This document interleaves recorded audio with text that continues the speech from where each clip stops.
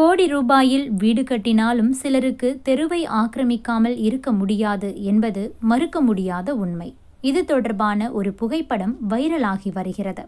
அது எந்த ஊர் எந்த தெரு என்பது குறித்து ஆராய்ச்சி வேண்டாம். ஏனெனில் சொல்லப்போகும் விஷயமே வேறு.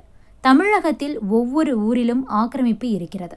ஏன்? ஒவ்வொரு தெருவிலுமே ஆக்கிரமிப்பு இருந்து கொண்டுதான் இருக்கிறது. இதை இல்லை என்று மறுக்க முடியாது. சிலர் படிக்கட்டுகளை வீட்டிற்கு வெளியே பாதையில் வைத்து ஆக்கிரமித்து இருப்பார்கள். இதை பார்க்கும் பக்கத்து வீட்டுக்காரர் தனது வீட்டு காம்பவுண்ட் சுவரை பாதையை ஆக்கிரமித்து கட்டியிருப்பார். இன்னொருவர் தனது வீட்டிற்கு முன்புறம் உள்ள பகுதியில் கார்கள் வாகனங்கள் சென்று வரும் வகையில் பாதையை மேடாக்கியிருப்பார் வீட்டின் முன் சிலர் சாக்கடைகளை ஆக்கிரமித்து அதன் மேல் வாகன நிறுத்தம் வைத்திருப்பார்கள். இவையெல்லாம் சர்வ சாதாரணம் ஆக்கிரமிப்புகள் தெருக்களில் இப்படி என்றால் சாலைகளில் இதைவிட வித்தியாசமாக இருக்கும். ஏனெனில் அந்த இடங்களை ஆக்கிரமித்து கடையையே கட்டியிருப்பார்கள். அந்த இடம் தங்களுடையது என்று கூறி அப்பாவி மக்களிடம் வாடகை வாங்கி அதை ஆண்டாண்டு காலமாக அனுபவித்தும் வருகிறார்கள். ஒருவருக்கு சொந்தமான இடத்தின் முன் உள்ள புறம்போக்கு இடம். அந்த நபருக்கு சொந்தமான இடமாகவே பாவிக்கப்படுகிறது. அதை முழுமையாகவே அனுபவிக்கிறார். இது தவறா சரியா என்ற கேள்விகள் இப்போது எழுவது நோக்கமல்ல.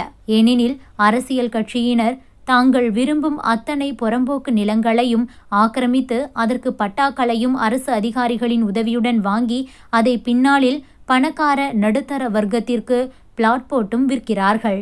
அதற்கு வங்கிகள் கூட லோன் கொடுத்திருக்கின்றன. சென்னையில் மட்டும் எத்தனை நிலங்கள் ஆக்கிரமிக்கப்பட்டிருக்கின்றன? தமிழகம் முழுவதும் எத்தனை நிலங்கள் என்று பட்டியல் எடுத்தால் தலையே சுற்றிவிடும். இங்கே ஆக்கிரமிப்பு என்பது அவரவருக்கு உள்ள செல்வாக்கை பொறுத்து கொஞ்சமாகவோ அதிகமாகவோ இருக்கிறது.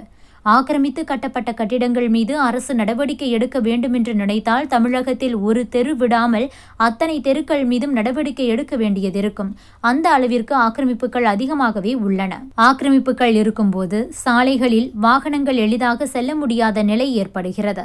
சாக்கடை வசதி குடிநீர் வசதி போன்றவற்றை அமைக்கும் போது அங்கு மக்கள் மிகவும் சிரமத்தை சந்திக்கும் நிலை உருவாகிறது. எல்லாவற்றுக்கும் மேலாக போக்குவரத்து கடுமையாக பாதிக்கப்படுவதும் நடக்கிறது. குறிப்பிட்ட ஆண்டுக்கு மேல் ஆக்கிரமித்து இருந்தால் பட்டாக்களும் கிடைத்து விடுகிறது என்பதால் தப்பை சரியாக செய்பவர்களுக்கு தரும் வெகுமதி போல் காலம் காலமாக நடந்து கொண்டுதான் இருக்கிறது. இதற்கு தீர்வு ஒன்றுதான். மக்களாய் பார்த்து மனதை மாற்றிக்கொண்டால்தான் உண்டு. மற்றபடி வாய்ப்பே இல்லை. இது பற்றி உங்களுடைய கருத்துக்களையும் பதிவு பண்ணுங்கள்